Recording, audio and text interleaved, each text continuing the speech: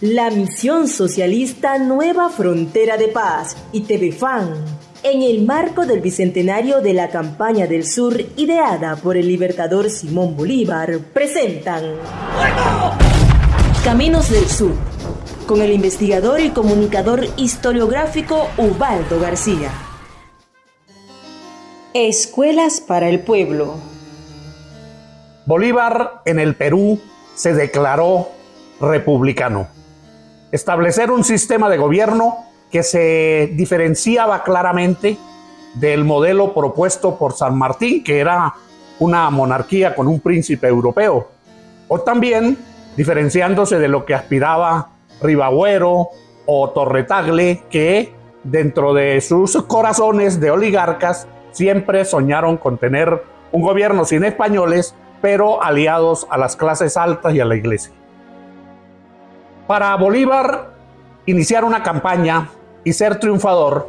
era organizar primero un ejército poderoso para darle la pelea a los españoles, a las fuerzas del rey, y después iniciar los cambios de esa república soñada, es decir, nombrar jefes civiles que, estuvieran de acuerdo con el movimiento político, eh, decretar la legalidad y entrega de las tierras, decretar una ley anticorrupción, y fue entonces por esos días cuando el Libertador también dispuso que se fundara lo que se llamó y hoy existe la Universidad de Trujillo. Fundó la Universidad de Trujillo para que la instrucción dejara de ser virreinal y aristocrática. Dice, como uno de los medios más eficaces para promover la instrucción pública, de la que depende en mucha parte el sostenimiento y seguridad de los derechos sociales.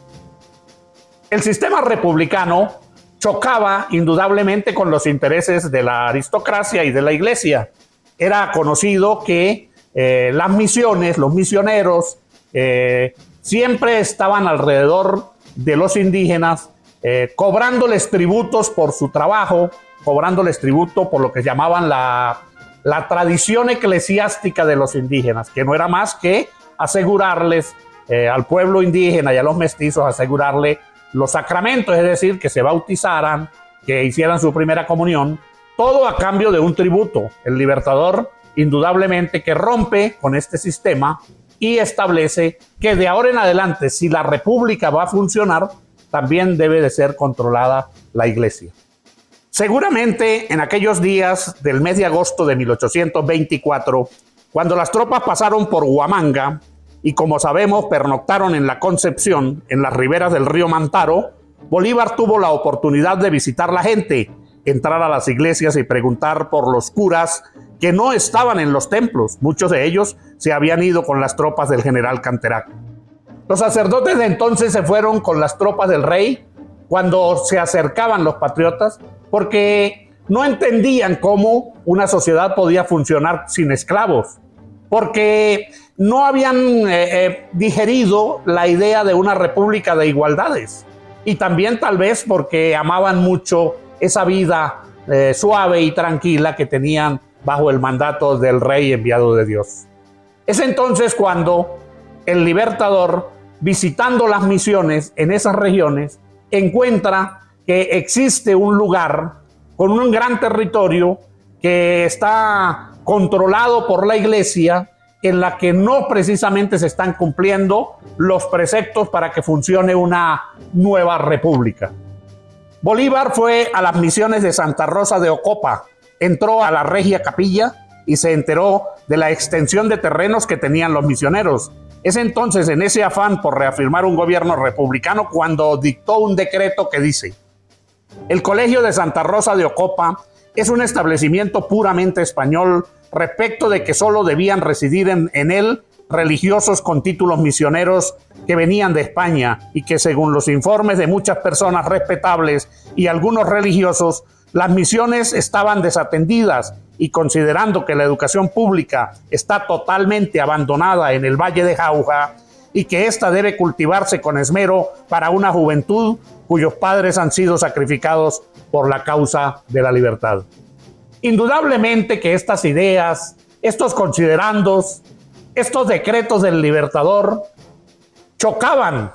y directamente contra los intereses de los que habían siempre manejado las rentas, que habían manejado el gobierno y que habían manejado también los diezmos y los ingresos dentro de la iglesia. Por eso el libertador dice, he venido en decretar y decreto. El Colegio de Misioneros de Santa Rosa de Ocopa queda convertido con todas sus rentas y pertenencias en un colegio de enseñanza pública, para que en él se eduquen los hijos de aquellos que han sido víctimas de la libertad y será un establecimiento conforme a la instrucción del pueblo, como lo dice la Constitución. Esta forma de atender las necesidades del pueblo, esta forma de dictar los decretos necesarios para darle igualdad y participación a la gente, no era común. Y por supuesto que la aristocracia de ayer, la iglesia de ayer y las de hoy siguen llorando. Y es una, una de las razones por las cuales en el Perú y en algunas regiones de la América, donde todavía la aristocracia sigue establecida como gobierno, pues no lo quieren. No nos quieren al libertador porque simplemente quería la igualdad para todos. Caminos del Sur, con el investigador y comunicador historiográfico Ubaldo García. Fue presentado por la Misión Socialista Nueva Frontera de Paz y TV Fan.